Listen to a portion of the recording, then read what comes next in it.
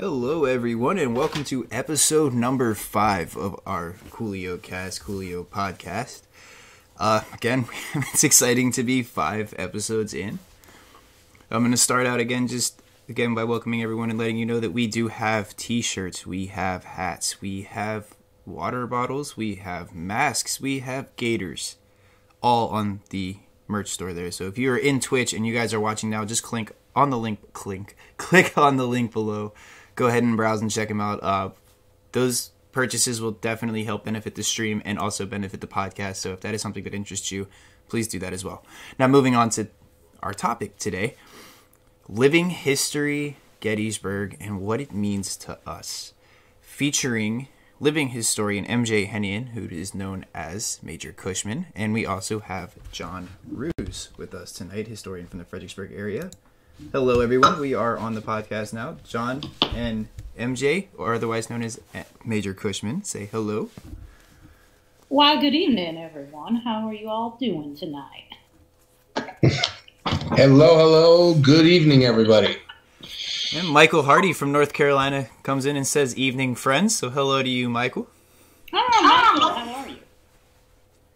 Wow, heavy hitters. Yeah, all right, guys. Well, tonight's topic is really exciting, I think. We're going to really be talking about living history, a little bit about Gettysburg, and what the Civil War history means to us.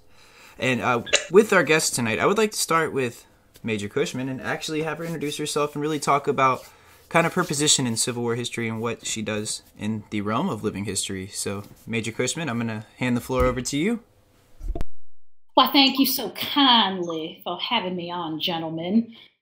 Uh, of course, in the history community, my name is Miss Major Pauline Cushman, Union Spy. Uh, in the 21st century, my name is MJ Henny, and I portray Pauline in Living History. I'm a part of the Living History group, the Confederation of Union Generals. I've been playing uh, Ms. Cushman uh, for a couple of years now, and I really enjoy it. Uh, I was interested in history from a young age. Kind of caught the bug when I was about eight years old. My mother got me a book called Lee and Grant at Appomattox. The following year, my school had a special ancestry day, and one of my classmates brought in a uniform from his ancestor who served in one of the New York units during the war. And I still remember the feel of the uniform, the smell of it.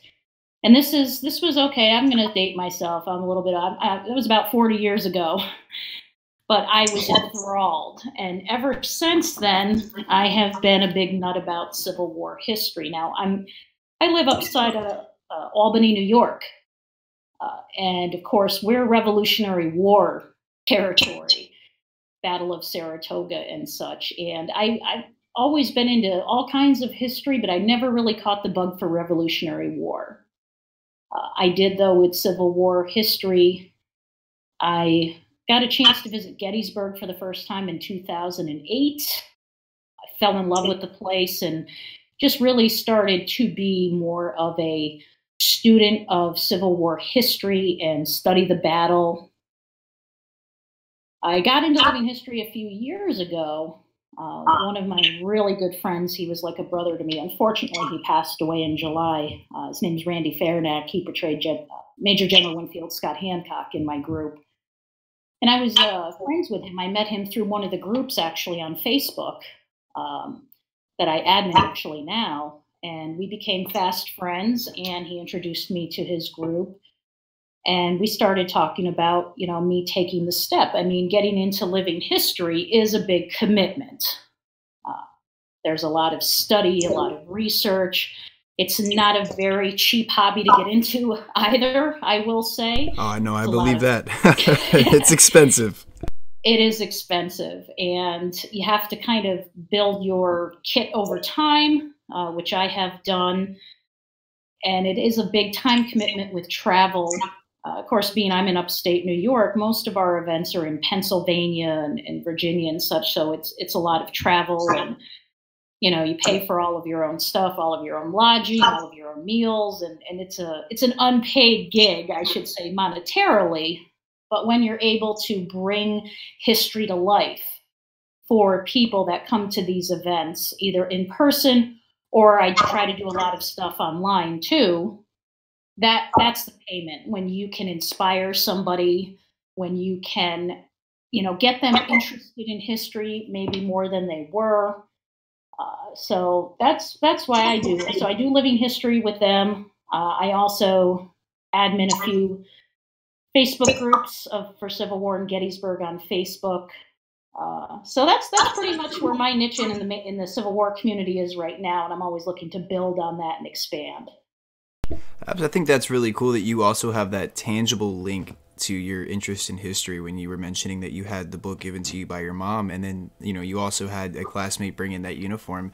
That alone is something i find with a lot of people that have this depth of interest when it comes to the civil war is that there's always some sort of tangible link that really brings it to life for them if that makes any sense i know for my sake uh, my father gave me a copy of the centennial handbook so i'm along the same lines as you with a parent passing down a book to you Mm-hmm. And um, that book itself had a picture of some of the soldiers that were killed with Ewell's Corps out at Spotsylvania Courthouse. Now, growing up in Fredericksburg, Virginia, and actually technically in Spotsylvania County, I live maybe a stone's throw away from that field, which would be known as the Harris Farm. I'm just right across the street from that actual place that this picture was depicting. And at a young age, you know, five or six years old, you're automatically kind of wondering how something like that could happen. And that was really what skyrocketed me into wanting to know more and continuing on this path of studying the Civil War and even getting into living history later on in life. But I completely understand. I think it's really cool too that you have that tangible collect, you know, connection with the Civil War.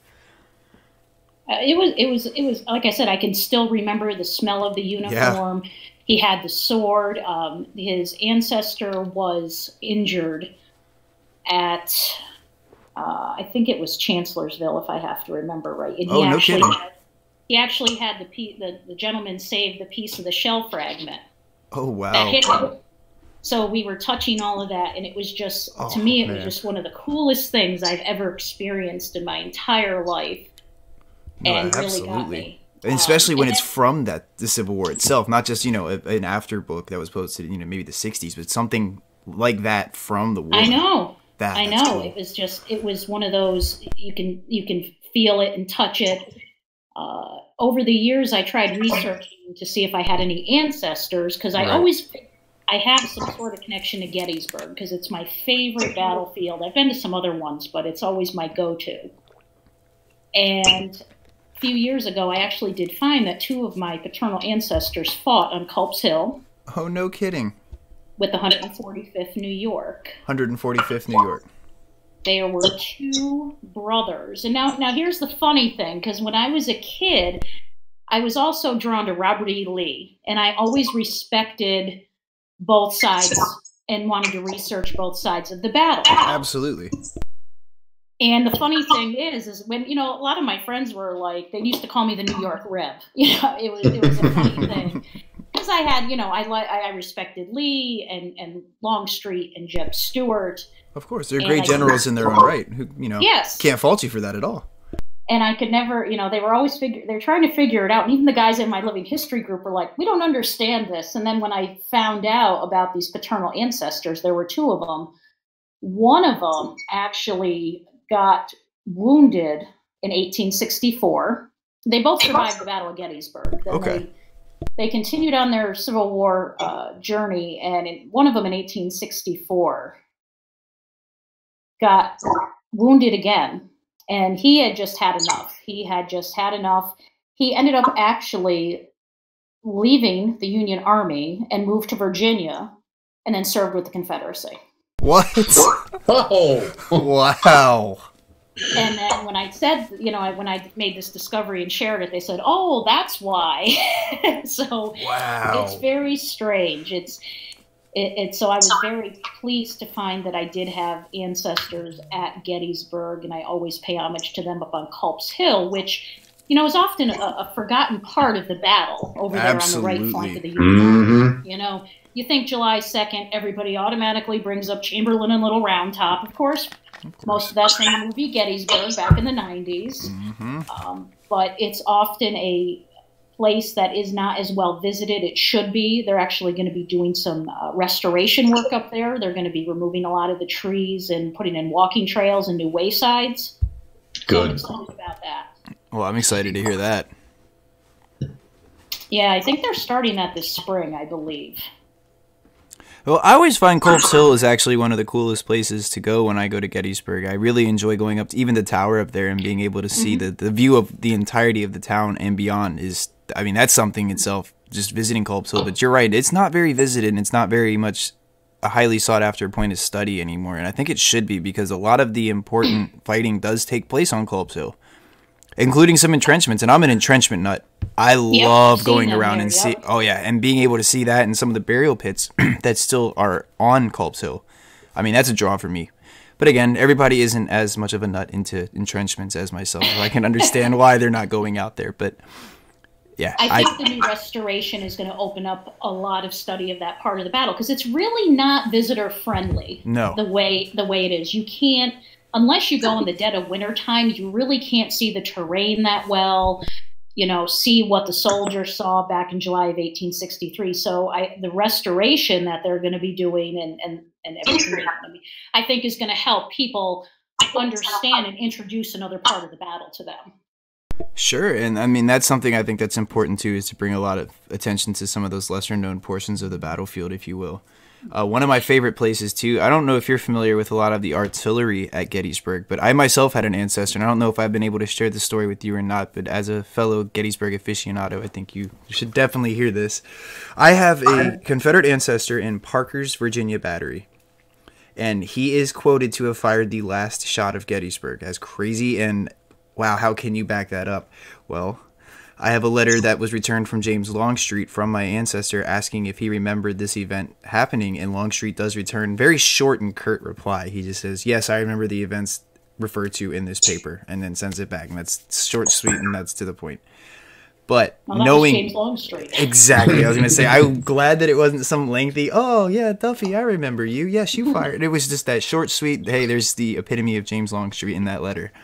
But having that tangible, you know, that item, and it's not obviously in my hands. That's something that's in the Library of Congress, but knowing that it's there and having access to that, and then being able to go out to the battlefield and stand where he stood or be around the artillery battery that he was at and try to picture what it was like on day two defending the the area around the peach orchard because he's directly assaulting peach orchard with his battery. In fact might even be responsible for sickles' leg.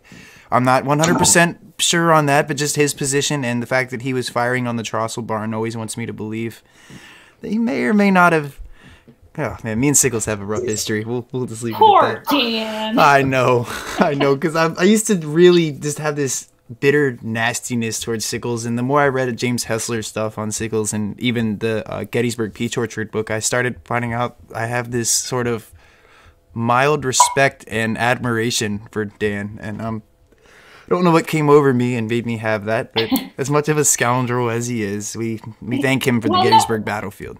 Nobody's perfect, all right? No, they're not. Certainly not Mr. Sickles, but you gotta respect the temporary insanity plea. I mean, hey, he's he. Oh, there was nothing temporary about that. No, there's not.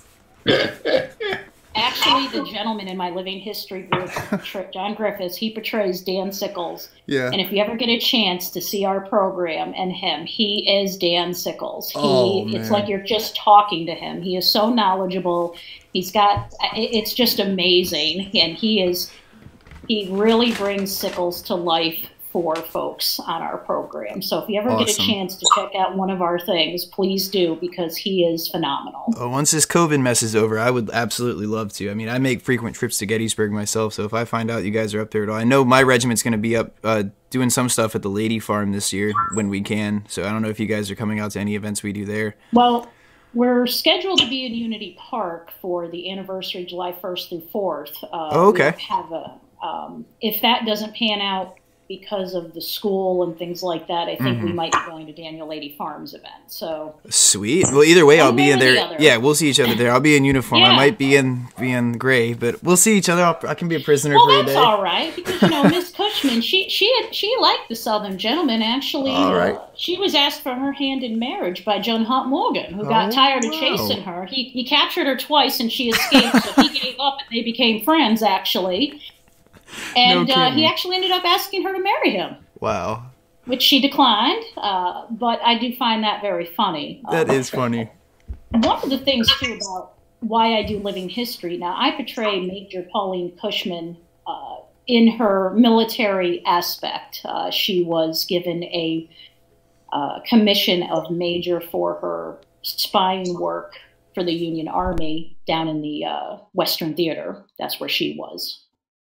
She had been at Gettysburg. There wouldn't have even been a battle. You know, she would have just taken care of it all. But but I portray her in her military aspect because it's an unconventional role that I think, and, and a lot of women don't get the respect they should in Civil War history um, because many people think of women in the Civil War and they think of nurses. They think of, um, you know, traditional roles, washwomen, Right. uh, you know, they don't realize that there were spies, there were scouts, there were also women on both sides that hid their gender and fought in the ranks. There's actually a woman documented in William Hay- General William Hays' report after the Battle of Gettysburg that there was a female color bearer on the Confederacy who died at the Stone Wall.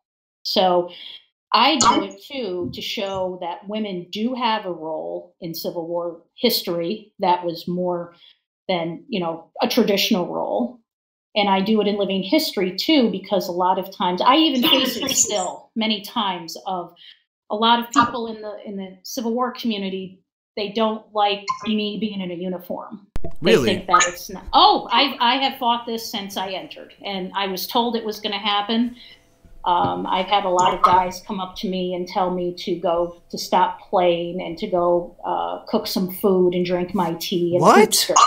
Yes, I have faced a lot of a lot of persecution in the Civil War community because of how I portray Cushman. Well, I was gonna ask you if there was any flag or any type of stuff like that that would Oh, take yes. place, but I believe it. I definitely believe it. that's- Oh yeah, It's, and it's unfortunate. I mean, I've even much had so. organizers. I've even had organizers of an event not want to let me come with my living history group as Major Cushman. They wanted me in her civilian role because they didn't believe I should be on the field in a uniform. my God. And my living history group stood behind me and they said, "Well, we're not doing the event then." You know, it's it's very unfortunate that still I faced it since day one, and I'm still here. I'm still gonna be here. I, I'm, I don't let it deter me at all. And I there's many times where I do events and little girls will come up to me and they think it's so cool that I'm in a uniform and they hear about Pauline's story. And the greatest, one of the greatest things I receive back is when I have kids come up to me and that they do is after they hear our program and they, you know, talk to me, they're Googling Pauline Cushman. And they're wanting to research her more or research a, a battle or something like that. But I've had many little girls as well as their parents come up to me and they say that that's an inspiration for them that they can do anything they want to do. And that's what i tell them. I said you can be anything you want to be. So that's also why i portray her in a military role. Now i also do portray her in a civilian role um, for her exploits after the war. But I, I do receive a lot of flack still. And also from some women too because it's not, I also get it from women because it's not traditional. Right. I mean, they just they can't, I guess, see that this is something that's completely acceptable in today's. I mean, that, that's sad that you have to go through that. It's something you have to have. I was told by my mentor Randy, you know, when I first got into it, he says Mhm. you're going to have to have a thick skin, and I said that's fine. I'm not a woman who is easily offended either. So, and uh, so yeah, I even still face it to this day. Uh, most of the people, though, that I know are very supportive, Right. and I, I am thankful for that, and I'm blessed by that. but there are still the folks that I meet um, that just have a problem with it. They they they're you know they tell me to go cook them some breakfast and you know go put on a dress and to stop playing fantasy. well, Pauline Cushman had a major important part in this history, and the fact that they are not willing to see that is kind of sad because they're ignoring the fact that you're giving off, you know, the impression of that. You're being able to go out there as Pauline Cushman as his persona and teach what she did. They're not willing to obviously sit and listen to it, so it's, you know, they're not even well, worth the time at that point. You know, that's right too. I, I think that, and also researching her, I found I'm very similar. Her and I have a lot of similar personality traits, and and my living history group has a thing where we feel that the persona picks the person to portray them in our group. And once I started really researching her, I found we have very similar personality.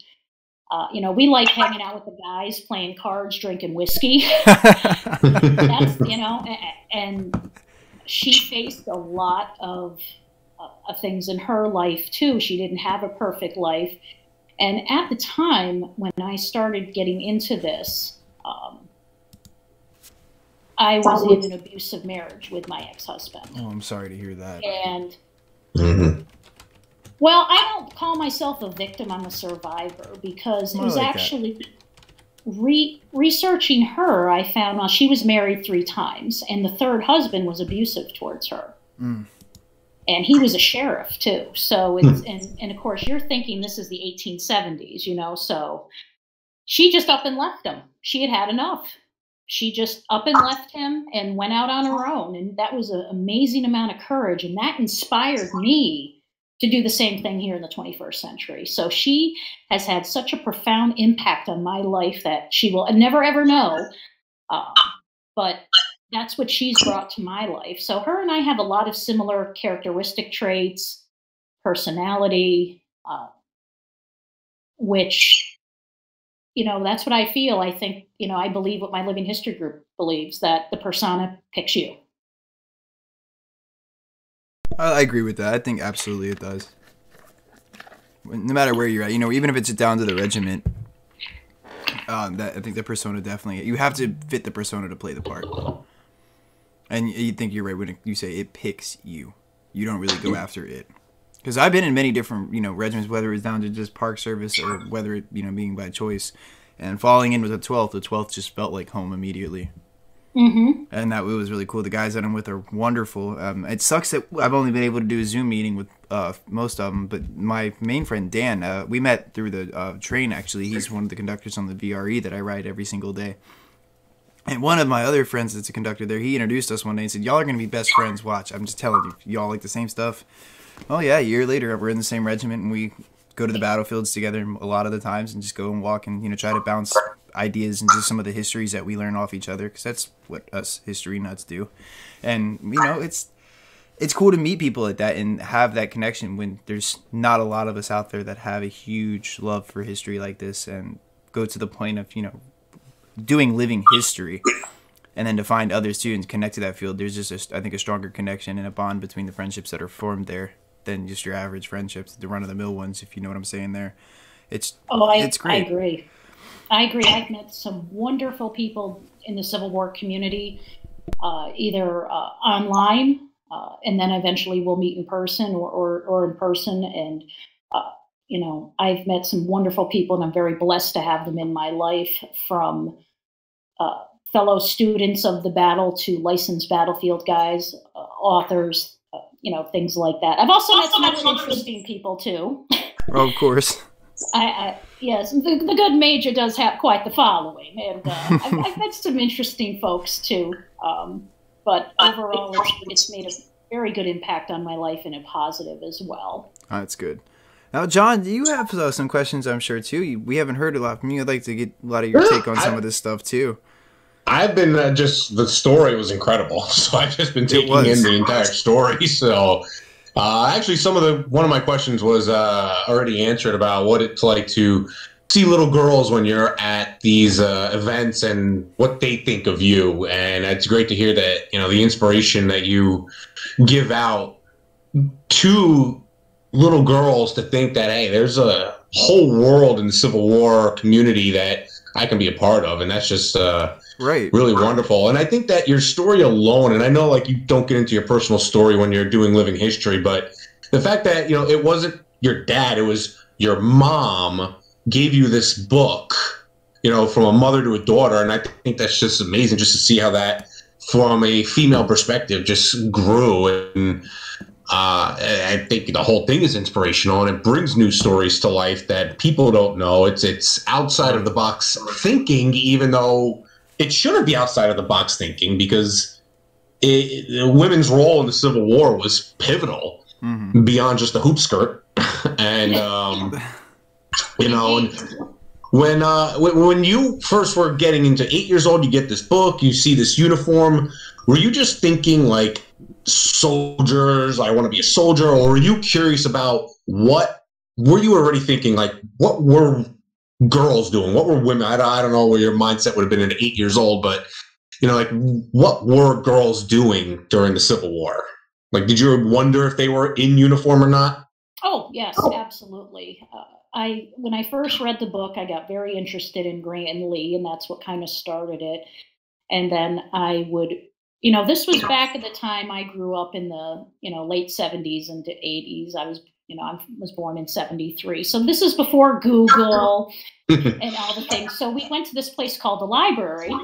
and I, I look up books and encyclopedias and just try to always learn as much as I could. And I did always wonder, well, what did women do at this time? And then I had read about, you know, Belle Boyd, um, I had read about, uh, you know, some of the women that were spies. Uh, some of the uh, also a lot of women that would also travel with their with their husbands and uh, they would you know help them out however they could and then also i you know then as i got older i started reading the stories of the women that would hide their gender mm-hmm. and fight in the ranks. And to me, that was very inspiring because, I mean, they wanted to serve their country so much, they were willing to take that risk and go ahead and look beyond. Well, I'm not just going to stay home and cook and clean and, and drink tea. I'm going to go serve my country. so, uh, they, they were very inspiring to me at a young age too. And over the years, I, I just learned as much as I could uh, when we were tossing around the idea of who to portray. You know, we had both, Randy and I both said Pauline Cushman because she's not a traditional role. There are a couple of other folks that do portray Cushman that I'm aware of. Uh, I've seen them on Facebook. There's a woman in Ohio that does mostly her civilian role, but sometimes she does in the uniform, uh, not as much as I do. And then there's another woman who portrays Cushman in later life uh, out in Arizona. She does the civilian role. So, you know, we both said, I said, this would be a great opportunity. Um, and also, too, we wanted to introduce at events the side of the war that some people may not think of, and that's the intelligence, the military intelligence, and the scouts and the spies, and the cryptology, and all of that fun stuff. So it was really a role that I think was meant to be. Um, and I am really blessed I get to portray her, if, if that mm-hmm. makes any sense. Absolutely. It does make a lot of sense. And then one thing I really appreciate, MJ, is that you are able to do this. And when you were touching on the fact that little girls feel like they have a place in the Civil War and that they have something they belong to, you know, as someone that's expecting a daughter here soon, I've always tried to figure out my approach to introducing the Civil War to her and how I'm going to get her to find some sort of interest that she can connect. What's going to be my tangible item I pass down to her? And the fact that you have something like this and that you have an ability to connect with them i mean bringing my daughter to you at some point is definitely something that i am 100% open to and wanting to do for sure. Sure. So that she can see this and be like wow this is something i can you know relate to. I can i can be a part of this is awesome. And if that's something that brings you know that love of civil war to her just a little bit awesome. You know, and that's not something she's ever into. That's cool too. But I really would like to at least give that attempt and find something that I could be like, hey, this is a tangible thing that you can see and you can talk. You can talk to someone and find out what it was like for someone like you. Well, and that's great now. But I can't wait to meet her. Awesome. Um, I I love dealing with the kids at events because they have some great questions. too. Absolutely. Um, I did an event in October in Bedford, and here I am up with you know we were you know I'm with folks portraying uh, you know General John Gibbon, General Meade. Uh, we have General Hunt, we have Dr. Letterman, we have all of these different personas, and the kids just gravitated towards me because I'm a spy. and and you know they because they think that's a cool aspect of a oh it's a spy you know right. um, so I love I love dealing with the kids, and I also love messing with the kids too a little bit here because well the funny thing is is that when we're in at our events we're in 19th century and you know that's also one thing I like about doing living history I haven't touched upon if I just may for a second Absolutely. Please do. I like stepping back into the 19th century because, I mean, and, and I'll be honest with you, I, I grew up before all of the technology. There was no, um, you know, there was no internet. There was no instant, um, you know, cell phones. There was no anything like that. And it's nice for me to step back into the 19th century for a few days at these events without technology because we you know we don't have our phones on us we don't have anything like that. And we're in the 19th century. We actually sit down and engage people in conversations. It's to me it's great. It really just it- to me it improves communication with everyone. We get to sit down and just have good conversations. We're not bothered by looking at our phones.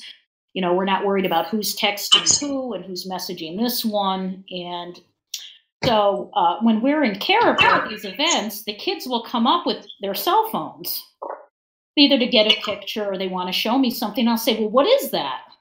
And the kids will say, "It's a cell phone." And I said, "Well, what is it?"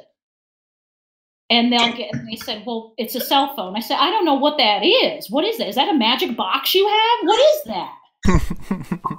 that is great. Well, this one kid, he must have been about nine or 10. He finally got caught on to what I was doing, and he said, Major Cushman, ma'am, it is the descendant of your telegraph. wow. Wow. And I said, Really? Let me see that. So I, I love interacting with the kids at these things because I do. I mess with them. I'd be like, What? What is that? I said, what, what is that? Or, or they're on their iPads or something Mhm. like that, or, or they're showing videos, or they're. I said, oh, and yes, and then they'll tell me about, oh, well, this is on Facebook. I go, what is the Book of Faces? What is that? and, and you know, and then the kids will be like, well, you didn't have, you don't have this. I said, well, no. And they said, well, how do you communicate? I said, well, I send a telegram. What do you all do? and it, it's really a lot of fun. And Oh, that's why I'm absolutely. interacting with the kids. But I, like I said, I, I love doing living history because I get to step back into a time before all the instant communications and really just get to sit down and talk to people again and really build on those friendships and relationships. And it is it is definitely something else portraying somebody from the 19th century and like you said stepping back into time to feel like you oh man I I did a lot with an artillery crew for the National Park Service back oh 2016 I believe and we did a weekend at Chancellorsville where we had the cannon mounted up in Hazel Grove in Fairview and I, I was able to sleep outside and you know it was my first time ever doing living history like that and i mean it was absolutely incredible and so surreal to be able to wake up on the battlefield and that that was a moment i think i will always remember when it came down to something you mentioned earlier with the sights sounds and smells of a, a memory like that was mm-hmm. waking up around I mean, it was probably 4.15 4.30 in the morning when we woke up and the sunrise started and it was just a purplish hue to the sky and there was a fog gently covering hazel grove and the path out to fairview just underneath of where the cannon was. And you know i woke up under a limber chest. I decided to really slug it out and sleep underneath the limber chest that night. But just waking up and seeing that and then off in the distance there was um, a cavalry group camping out as well so they were out early in the morning on horseback in that mist, in that fog. So like when you wake up and you look down, that's what you see. It's really hard to believe you're actually in 2016. It for quite a few moments, I was expecting, you know, to look at a pocket watch and not have anything. It was back in the 1863, and it was just that that feeling was surreal. Waking up to to the guys next to us making uh, biscuits and gravy over a fire with some coffee that still had quite a few grounds in it after the last few sips. Found that out too pretty quickly, but it was great, and I understand the feeling of that. It nothing else in the world like it at all. Yeah, as a big Civil War, you know, geek myself, when I when I get to do that, it is like you said to me, it just brings it so close, the history. So, and the Civil War is really not that far away from us. It really isn't. Mm-mm and it really brings it to life for me. And then I think reenacting and living history is just so important, especially nowadays. To we need to right. bring history to life for not only kids but also adults too. I've I've run into some really good adults that have no clue about certain things, and they come to one of our programs and they and they learn something new and I, I just try to also for especially for the kids to make history cool. I mean, I, I was back in school, I always loved history, but there's a lot of kids that don't. They think it's boring because they might have a boring, you know, professor or a teacher. And that's why I try to say, no, this stuff, you know, this is this is really cool stuff. And it's really important for us to go out and, and I know that COVID has put a somewhat of a limitation on what we can do just due to a, a lot of events being canceled and such. But that's also, to me, it opened up a doorway. You know, like your podcast, we're doing it online to outreach to people. I do a lot of stuff. I try to do stuff on Facebook and uh, and other things and Zoom because I think we can outreach to people that may never have a chance to come to an event. Absolutely, and that's that's like you said, that's the whole drive of the podcast here is because we don't have the opportunity to be making it out to these places a lot right now because of COVID, and you know just being able to reach out and make history mm-hmm. cool. You touched on a subject that's very near and dear to my heart, and that's exactly what I try to aim at with this. You know, the video games and the Twitch and the podcast is because I don't want people to think that this stuff is boring because it really isn't when you break it down and you can actually start realizing it's just, not right. And also, also too, like I've told people, because uh, I work in the medical field here mm-hmm. in the 21st century, and a lot of folks will they think that you know unfortunately the pandemic is brand this is all brand new. And i said no why don't you go and read some of the history headlines from 1918 i just bought a book on that mm-hmm. yesterday. Yes. Yeah. And when you actually it, and you know someone had taken my advice and they started researching they said oh my god it's like reading headlines from today. I said exactly. I said so you know that's our history is always around us and, yep. and we're there to learn from it. And that's why too I tell people, I try to stay positive. We got through it back then 100 years ago. We're going to get through it again. Mm-hmm, you know? Absolutely. Because once we got through it, we had the roaring 20s. That's right. So we might have another roaring 20s. So break oh, man. Major Cushman is ready, boys. I feel like this is a conversation I can get. Oh, Tater, thank you. Welcome. Jo- thank you for joining the conversation. Um, now, with this, we have. Um, a, I was thumbing through that book I was just telling you about yesterday. I was thumbing through it and I looked and there were pictures of firemen wearing masks. There were pictures of regular civilians out at, you know, just grocery stores. Everybody had a mask on. And no. I was, you know, looking oh. at that, that was interesting. Well, they, well, they also had a lot of a lot of things with restrictions and things like that. And I don't want to deter too much off of the Civil War subject, but I think people really should research it more because they're going to see that there were even more things going on back then. The, People were getting arrested. People were getting hauled out of places, and I just, I just hope folks just to take a look back and, and look at our history, and we can learn from it, and we can also know that things are going to be okay. Yeah, I, I think that's the case. I think it's going to, you know, look at, you know, just the patterns that history has given us before history is cool, and that you know that's why I try to say to folks that you know I have people that wanna, I have women that want to get into living history now because they came and saw one of my programs and they said, well, we'd like to do you know something about you know a non-traditional role. And to me that's great. Or i have like i said i have the kids come up to me that they're inspired not only in, in civil war history to get more involved, but also just in things in their life. You know, I had a teenage girl come up to me. Uh, we were talking for a while, her and her mom, at one of the events I did last year. And then they sent me an email a few weeks later that her daughter found the courage to handle a situation she was in and go to her parents because of my program to say, you know, you can do and be anything you want to be. Wow. Now that's and, powerful. And that's why I do it. It is a lot of work. I mean, and two, and, and one of my favorite questions at history events is, are you hot in that uniform? you know, you're at Gettysburg and it's 95 degrees and 90% humidity. And uh, yeah, it's hot. I, I will stand out and do it because if I can touch one person uh, and, and with to inspire them or to get them to read, then I that's why I do it. I don't do it. You know, there's that. I'm not making any money doing it, definitely, but uh, and that's fine because just honoring the names and stories of our past so they are never forgotten. You know, a lot of people, I don't know if you've ever read the book by William Christen on Cushman. I have not actually. I'm, and I was hoping to get some suggestions from you during the podcast. It's one of today. the best. It's one of the best. And I actually talked to the author a few weeks ago. Oh, wow. And um, yeah, we had a great conversation online. And it's one of the best. But the funny thing is, is that one of my friends owns a uh, Civil War bookstore, and this be Civil War and more.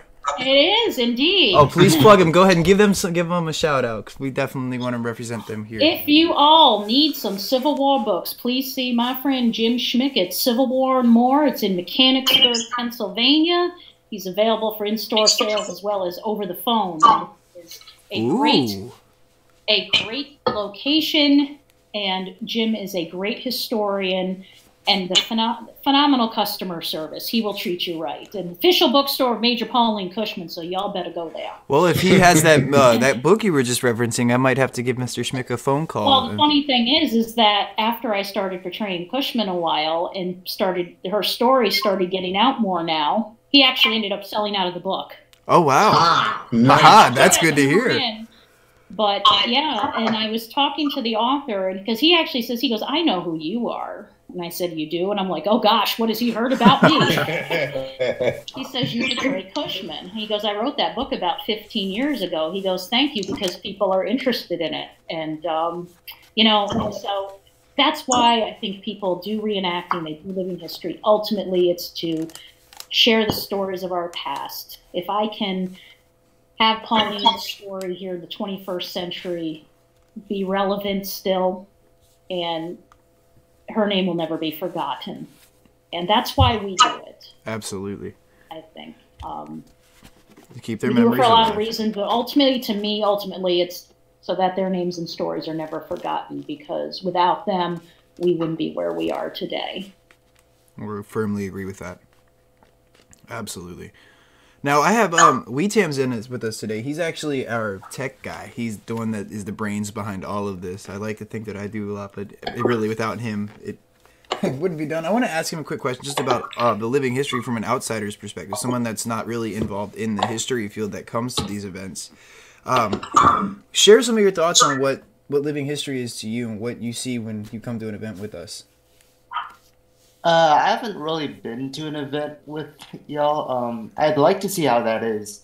Um, is it like some sort of reenactment? Well, that opens up a question, I think, for the major here. Uh, do you want to maybe explain what a living history event would look like when someone would show up to that? Please do. Cause...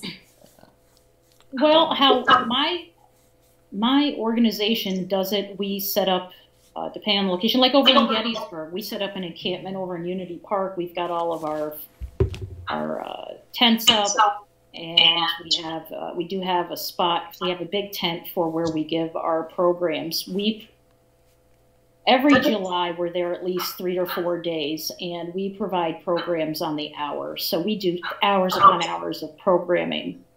Uh, either as a group or individual personas. So people can come into our camp, they can see what life was like back during the war. They can actually talk to General Meade and General Grant and my good self, Major Pauline Cushman, of course.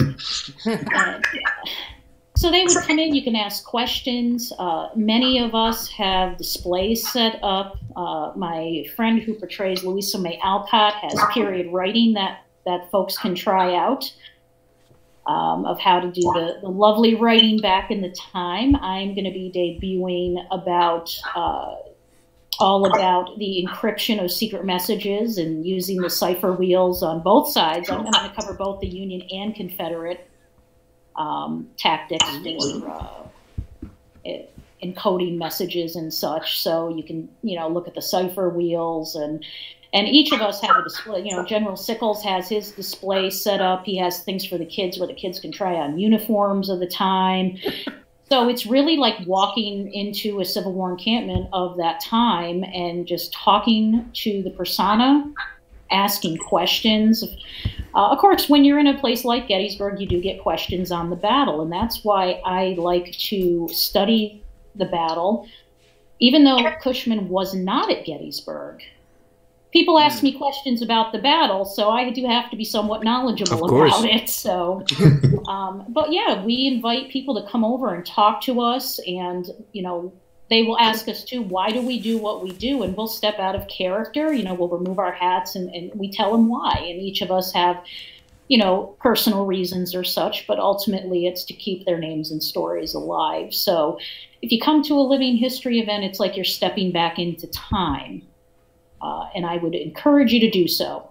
Yeah, absolutely. I actually, I actually think I've been uh, to one of well, not your event, but an event like that while I was in uh, elementary school. Actually, uh, it was interesting. Um, we got to do like all sorts of stuff, like washing clothes by hands. I, I don't know, just interesting stuff about uh, history. Um, mm-hmm. A lot of hands-on it. We try to do yeah, hands-on activities. Yeah, a lot of hands-on too. stuff.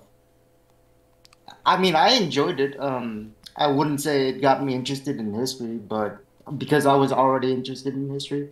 Uh, but it, it, gave a lot of us an interesting like outlook on how life was like back then. I mean, and I'm glad to hear that you know from someone that go, went to one of these, or maybe not ours in particular, or anything that we've done here on the Eastern Theater, but to hear yeah, that you guys do learn something from that, that's that's rewarding in itself. Yeah, it is. Um, yeah, we definitely learned something. Good. That's good. And I'm glad it's interesting too. I think it's more interesting, and you know, like we've said earlier, than sitting in a classroom and having that just instruction definitely over and over and over again. The monotony of that, and being able to go out and have something hands-on and someone there that also maybe is very passionate about what they're teaching you. That that changes the tone of how you're learning. It, it really does. Because well, it, I agree with that, and and I've had some history teachers and professors from high from school and college over the years that they talk like that. Right. There's no fun in that. I, battle, I, can attest to that. the Battle of, of Chancellorsville happened at. Um, and and but then again, I have a friend who's a history teacher, and he makes it fun, and and you know it's all about presentation too. Like to do living history. Um, you know, we're doing first person presentations. You do have to have public, you know, you have to be a good public speaker. Right. You have to have that knack for it. And sometimes, you know, it can be taught. Sometimes it can't be. I think you have to have a certain charisma about like like the good Major Cushman just has a charisma and a charm that just enchants everyone. well, you know, the funny thing is, boys, is that when people actually get to meet me and I talk outside of character and I talk like this, they actually think I have a southern accent.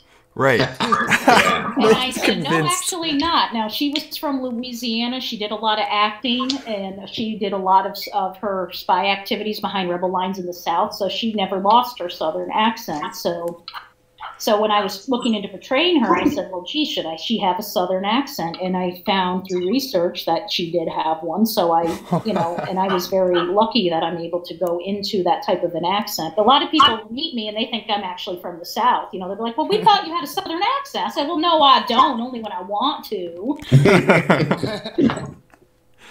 Well, so I think it's all about the presentation of history, and that's why it's so important what we're all doing. You know, what you guys are doing, uh, what people are doing on you know groups on social media. I, I know the the group that I run on Facebook, my main one, is a great group of people that, and I make it fun too to learn. I do these trivia nights on. Oh, oh no, I've no, seen. Yep. No.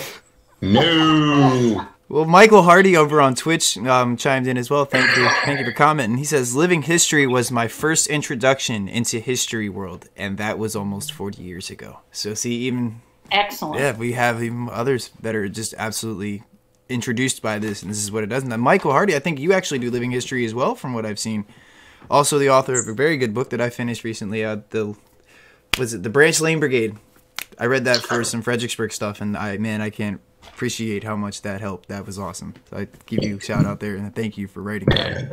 My my boss named them my because uh, I don't have a favorite brigade. I, I never Irish Brigade, Iron Brigade, Stone, whatever. My boss gave me the Branch Lane Brigade because he knows I am not a big fan of Stonewall Jackson. I think he's overrated. So he said, "Lane is your favorite brigade because they shot him." I was like, "Okay, I'll take it." Oh, wow, you don't like General Jackson. I think he's overrated. Good Stonewall. I will wow. take James Longstreet ten times out of ten over Jackson. Done. But I'll take Jackson over Ewell and Hill. There you well, go. I should hope so. All right, I'll we're talking DH Hill, right? Are we talking DH Hill? Because we could. I, I am not a no, DH, DH Hill fan. DH Hill was top notch. Excuse commander. Me? John DH Hill. Commanders Dan Sickles. We're gonna have to have a discussion about that, Mr. Roos. Dan Sickles is awesome. I love. I when I give my tours in Chancellorsville, I tell everybody when I get to Hazel Grove with them, think about what I'm about to tell you because most people that take my tours have been to Gettysburg and they're like, "Oh, Sickles, he's nuts. What did he do?" Uh, what I'm about to tell you now. Think about what happens here in Chancellorsville, then think about what he did in Gettysburg. It makes a little bit more sense. That's very true, John. I'll agree with that. And, and two, what I tell people as well, if they ever get a chance to go to these battlefields, to walk the terrain. Because if you are down where he was and you look up into the peach orchard, you can kind of see. And then, of course, going back to Chancellorsville, you can kind of see why he did the move he did. Right. Yeah. Absolutely. At Hazel Grove. Oh, man. Mm-hmm. Yep. Yeah, that's that's a big thing. You know, you're talking about interest and everything. I call it a spark. I learned about the spark when I was an intern, and just sparking people and having them say have those moments like I never realized that. Before. Yeah, it's the light you know, bulb like, going off. so head. much, yeah, so much of the Civil War has been black and white, and I really think over the, especially with social media, a lot of the gray areas starting to be found where there's a lot more to the story than you know. Oh, this happened. That's the result. That's it. No, there's so much more meat to it. And uh, stuff like living history and meeting people like that, going to events, getting on the field is uh, huge, huge for uh, Sparks and expanding the knowledge of the Civil War. I right. agree with that. And I portray Cushman, who was a spy. I prefer Scout because spy is just so scandalous, and I'd never be one for scandal, mind you. Uh, but uh, I try to also tell the people about the like the Bureau of Military Intelligence during the war, and and we just actually read a book in my group's book club. Yes, we did. Scouts and Secrets of the Gettysburg Campaign, which a lot of people said they never ever would have picked up Mm-mm. if we weren't reading it for book club. And I tell folks, you know, intelligence was a very integral part of the war. Yes. Mm-hmm. And it gets them to see, and you know, it starts to click with them. Um, you know, and it makes them think too. Like the book was really interesting. I thought it was great just because it told about all the behind the scenes stuff of everything that was going on. And people that read the book also, they never realized that the two cavalries clashed quite a bit. It wasn't just at Brandy Station, you know, before right. Gettysburg. They clashed, and then they also clashed on the retreat. And then a mm-hmm. lot of people well, you know, casual folks of interest okay, he loses at Gettysburg. Meade lets him Meade lets him go back to Virginia. Okay, Meade didn't let him go back to Virginia. There's a nope. whole other story with that. And some people read the book, and of course, it covers the retreat uh, somewhat, and it really got people to thinking and also researching more of like, oh, well, that's why he didn't, you know, that's why he couldn't go after him because of the, you know, the days of pounding rain, or, or you know, there, there's just like you said, there's so much more than just the stats and the statistics. Absolutely. Uh, so now, with that in mind, oh, go ahead. Go Sorry. Ahead. No, you're good. Continue. No, go ahead. All right. I was just, I was just saying that doing living history in that aspect too, um, you know, getting to people interested in a side of the war maybe they never knew existed too much, and about the uh, secrecy and the. Uh, it's just so interesting, mm-hmm. you know, with the signal corps and the encryption, and because when I started studying the Confederate encryption of some of their messages. It's so simple. And I just said, how do they not recognize this? I right. Said, I said, how did they capture a message and not? Re- I mean, it was it was almost too simple, and I think that's why it worked for the Confederacy because it was just too obvious. Mm-hmm. And I think a lot of the Union over overthought a lot of uh, uh, okay, well, myself. No, but it's it's an interesting aspect of the war, and and but you know, doing living history has brought so much to my life, and I hope to expand on that. But also get people to think about other aspects of not only Gettysburg, but the other battles as well, or the other individuals. And when, you know, we were kidding around about Dan Sickles and we said, well, nobody's perfect. That's right. These were real people. I mean, you have to think about at the time. They can't, you know, it's very easy for us to sit here in the 21st century and say, well, we would have did this and well, we could have done that and, and you know, but you're not actually in battle conditions. You're not on the field. You're not, you know, hiding behind a, a breastwork and see your best friend's head get shot off. Right. You know, there's just so much more to it. And really researching people of the war, realizing that they weren't perfect. Like, I'll, I'll, be completely honest here. I really wasn't a big fan of Grant until recently. Mm-hmm. Um, it was just because I really hadn't researched him too much. He was more, you know, like, and you get the usual things with him. Oh, he was a drunk. He did this, you know, he was that. And then I started researching him. And I started talking to the gentleman who portrays Grant in my group. And I really have a lot of respect for him since I learned more about him for a lot of the things he overcame in his life as well. And he wasn't perfect. Nobody is, you know. Not even Winfield Scott Hancock, John. Superb ego. oh, don't you start. Got nothing to say about it. Hey, God, Hancock's a good guy. I just get on the bandwagon with driving you nuts. That's all.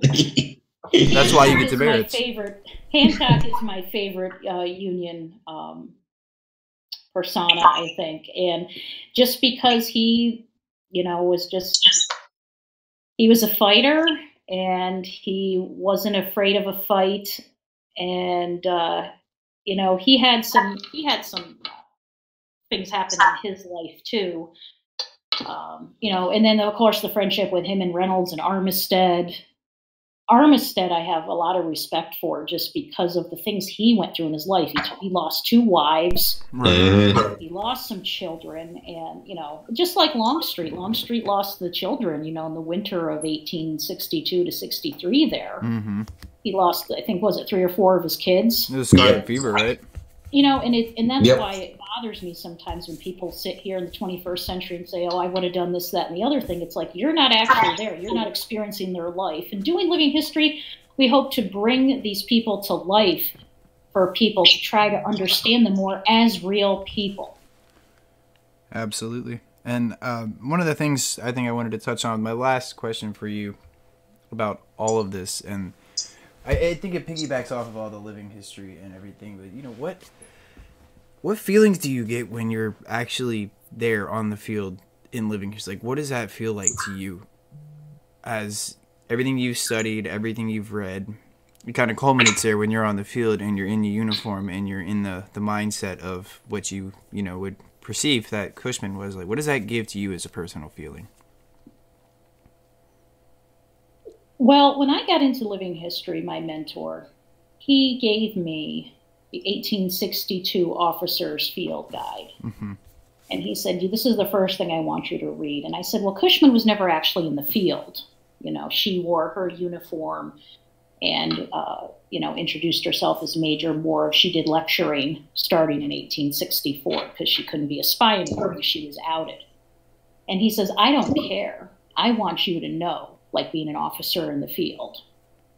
So I had to learn all of that and learn all of the military stuff that goes behind it and how to be an officer. And it's really enriched my life too, of how I look at things, how I conduct myself here in the 21st century. When I'm Cushman, and the thing is, is that Cushman and mine personality, we are so close in personality that I just feel that I, when I step into her role, I just play a heightened version of myself. It's not very easy, not very hard for me to go into her persona, I should say. um, and it just brings me a sense of that I'm doing something positive. Mm-hmm it brings the history to be on these fields where these people were and fought and bled for what you know their causes were it just brings me peace too um, to feel that i'm doing something i'm out there supporting and promoting our history which again right now is is very very important and sometimes i feel i'm blessed Mm. I'm blessed that this all worked out the way it did.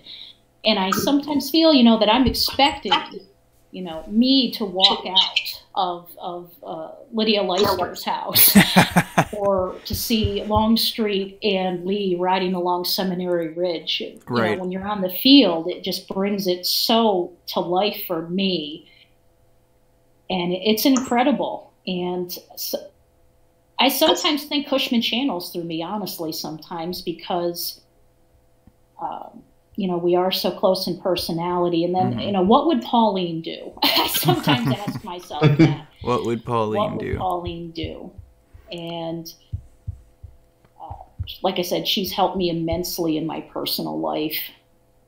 And it's something that I wish I could tell her. Um, that, you know, you have given me courage, you have given me you know, self esteem that I didn't have before. And I like to think, in a way, eh, you are able to tell her by what you're doing. You know, with the living history and you keeping her her story alive like that. That's the greatest gift you could ever give to somebody like that. And the fact that you're able to do that, and that you take so much pride in doing that, and you're very passionate about it, that says a lot about it. And I, I do think that would be a way of you know letting her know how much she means to you is by continuing to carry on her story and her traditions, so that others can learn and experience that as well. I think it's very powerful. Like when I'm up on Culp's Hill, I feel a connection to my ancestors. You know that well, you know they were here 150 some years ago, and and, and here I am now. So it, it just it gives a great connection to our history, and that I'm out doing something positive too. A lot of people will chitter chatter um, online and such, and they'll say this, that, and the other thing, but yet they're not out doing anything. Right.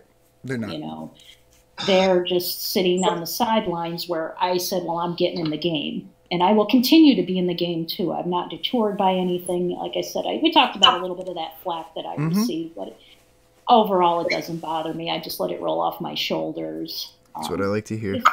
Just to, just to, and Gettysburg is always, and it's weird because that battlefield in Antietam I find they're my two favorite battlefields, and I find a sense of peace when I'm on them. Now, of course, these are horrific settings, uh, you know, for these two battles in the mm-hmm. war that were some of our bloodiest days in our history. Um, you know, after I got out of my abusive marriage, I had to come to terms with I have to offer forgiveness to this individual who doesn't deserve it. But if I don't do it, I'm not going to move on. Right. And I went to Gettysburg for a long weekend and just went out on the field and it brought me peace and it brought me healing and i was able to let it go um, hmm. you know but being out there in uniform and and it, it's just so special to me um, I really think I can hear sometimes, you know, like I, I, can really hear, you know, Hancock barking orders over on Cemetery Ridge and, and Hunt ordering the guns up and, and things like that. So it sure. just, it almost, it almost separates the veil between time and space. That's, Those that's battlefields do. No, and I on 100% relate to that. That's how I feel. I always tell people the battlefield does speak to you while you're out there, and you, um, you hit the nail on the head with that.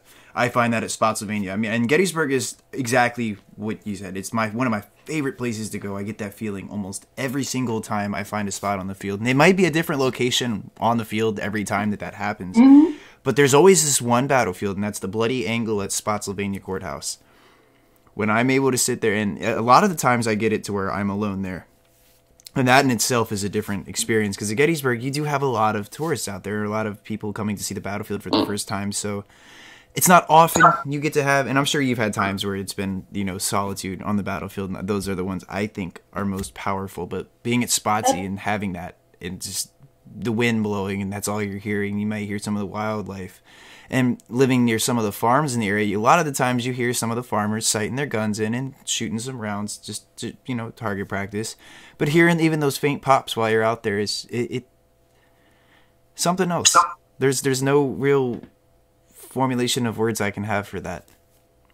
Well, for Gettysburg, I advise people because I do a lot of battlefield photography. I'll mm. get up early in the morning and yep.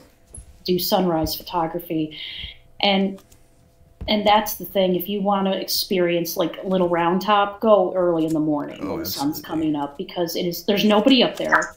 It's absolutely quiet. I sometimes sit up there, just sit on the rocks, and you know, especially if you get a nice mist in the morning, you know, it's almost like you're seeing, you know, the smoke of the battle, right, uh, across the field, and um, it's just something that you just sit there and, and you just I take it all in and and yeah, there are a lot of tourists depending on the battlefields and such. Uh, but I try to always find time to go out early in the morning, especially. Hopefully, the weather cooperates.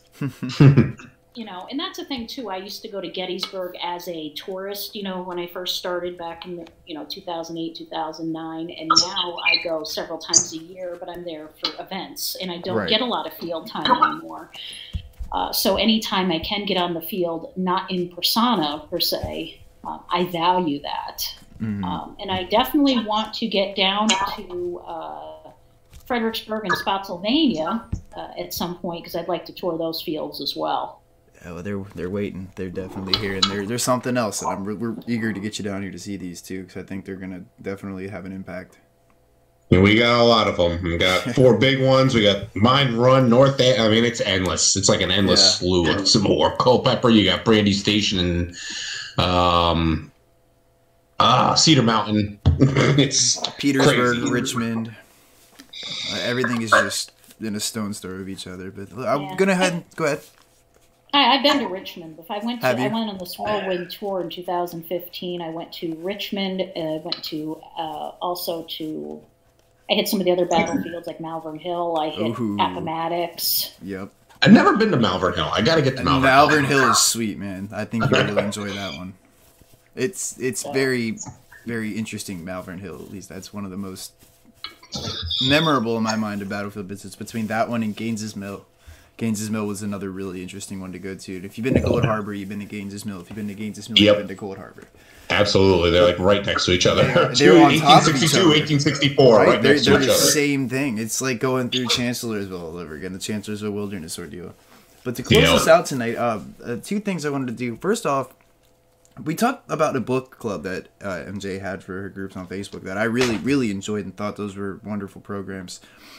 So, um, sort of inspired by that, I wanted to just touch on um, five books to me that I've read on the Gettysburg campaign that I just wanted to share with the podcast folks that are listening there that might want to find books to read and then ask them to name one or two books or maybe even five if they have five that they think are instrumental on Gettysburg.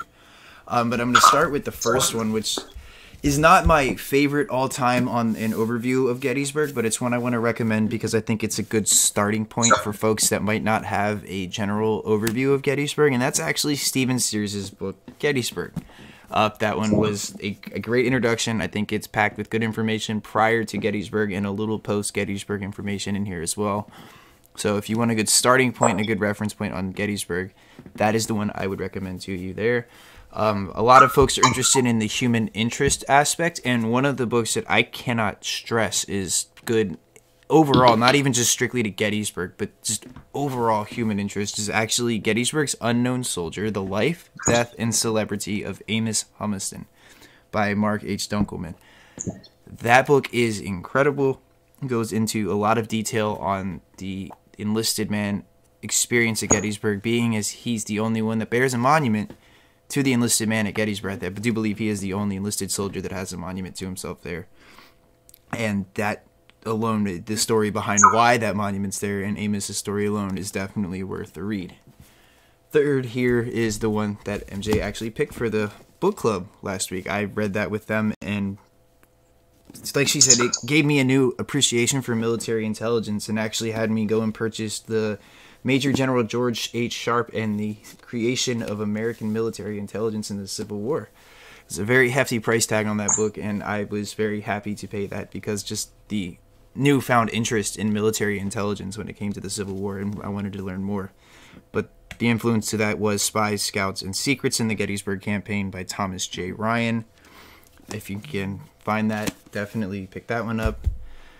Second to last here, Too Much for Human Endurance, the George Spangler Farm Hospitals and the Battle of Gettysburg by Ronald D. Kirkwood. If you're into the the hospitals or a lot of the medical histories on the battle, this one again, I picked up after reading Gregory Coco's book A Vast Sea of Misery. That was a very, very well done, and it kind of identified the hospital sites, and that one there was something I really enjoyed. Last and not least, Gettysburg's Peach Orchard, Longstreet Sickles, and the Bloody Fight for the Commanding Ground Along the Emmitsburg Road by James A. Hessler and Britt C. Isenberg. I have an ancestor that fought in that engagement, so of course I'm a little biased when it came to wanting to read that. And that is also my favorite section on the battlefield. So again, that biasness just kicks in, and that was one of the first books I picked up here recently to read, and 100% would recommend to you. So that is my pile there. I would like to turn it over to MJ if she would have any recommendations on a Gettysburg book to read, or what would you recommend? Well, definitely the Pfanz series. Yes. Uh, day one, day two, and then Culp's Hill and Cemetery Hill. Um, Gettysburg Peach Orchard by Hessler and Isenberg. I read it twice. Actually, I read it once before, and then we did it for our book club. Okay. Um, I would also uh, the Sears book as well, uh, which was, uh, like you said, a great overall introduction mm-hmm. to it. Uh, Got to go with the Spies and Scouts book we just did. It was it was phenomenal. I learned so much that I didn't know about before, and really gave me some good starting points to research other things. Um, and uh, I know that John's going to probably get upset with me on this one.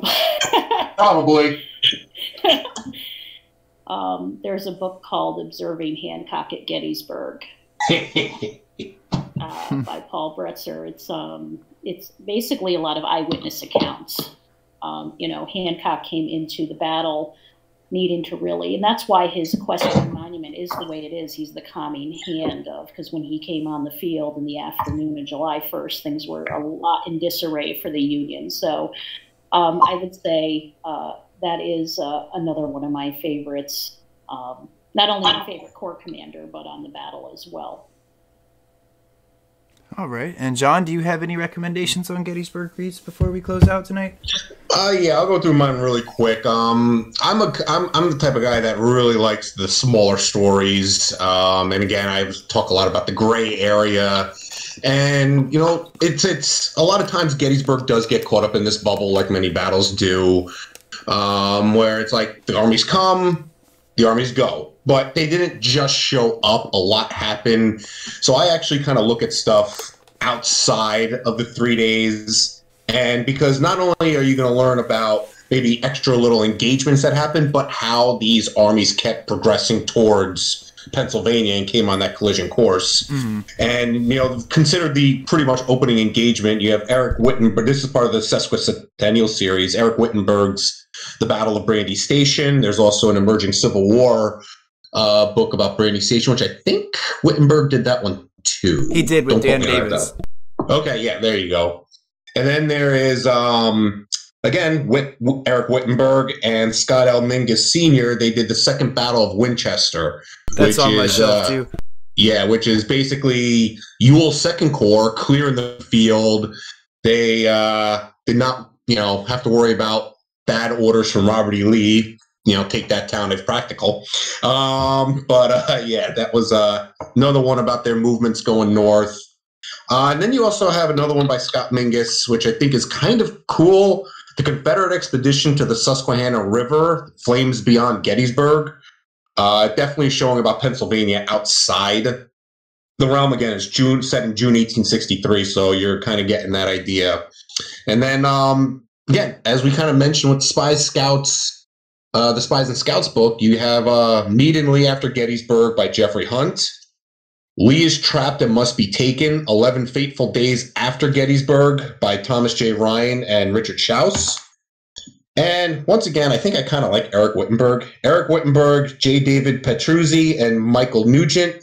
One continuous fight, the retreat from Gettysburg. Always remember there's more to the story than just what you see there. There's a lot more to it. I concur. That was a lot of books. and I, and I want to thank you both for having me on here tonight. Uh, it's been a lot of fun, and I've been great talking with you, gentlemen. Absolutely. You're, you know, we all break chops on the Gettysburg group with the demerits and everything and Opie the possum, but uh, hearing your story tonight, you are an inspiration, and that gift Absolutely. that uh, you feel that Cushman gave you to bring her to life, I think honestly, you're going to bring a lot to life for a lot more younger ladies out there, realizing they have a lot more to this story than again just the hoop skirt. Yeah, just that's absolutely the case. And again, we thank you so much for joining us on this program. And you are most welcome back anytime we have a new discussion. You would like to have any part of the discussion, please feel free, and we will let you in here and talk away because this has been oh, great. Well, well, thank you so kindly. Of I course, appreciate that. We want to have a platform for all of us to get on. If we have something we want to talk about, and it's you know, whether it's history related, Civil War related, what have it, we would just love to be able to throw an episode up at random and just talk away and it'll be you know able to be pulled back up on youtube spotify apple music all of those platforms have us on there so you can listen to this at your leisure whenever and we, we just like having the discussion and letting other people hear the discussions that happen among the history field some you know the behind the scenes stuff sometimes. I think it's great for that to be out there as well and just a community for all of us to come together and chat with whether it be facebook or youtube or whatever. But again it's been great. I really enjoyed this and i think i'm like i said i completely appreciative of you guys coming on here and joining us for these topics and these conversations. Definitely, definitely been a lot of fun. It has. Well, everyone, uh, you guys have a wonderful week. We are at the end of our weekend here in the beginning of a new week, so let's have a good one. And we look forward to seeing you guys back here soon. Um, if you want to hang out in Discord, I'll be back in in just a few moments. I'm going to close the thing out. If you just want to have any closing remarks while we're offline, but. Uh, uh, I, I, don't know. I'm pretty good. Just uh, good? if anybody's listening from the Gettysburg group, don't forget it is Monument Monday. That's ooh, that's, that's right. right. That's right. I have to dig through some of my photo archives tomorrow and find some stuff because I have I need to pull through a lot of Gettysburg stuff actually. But all right, guys, y'all have a wonderful week. All right, have a great night, everybody. Have a great night, y'all. Good night.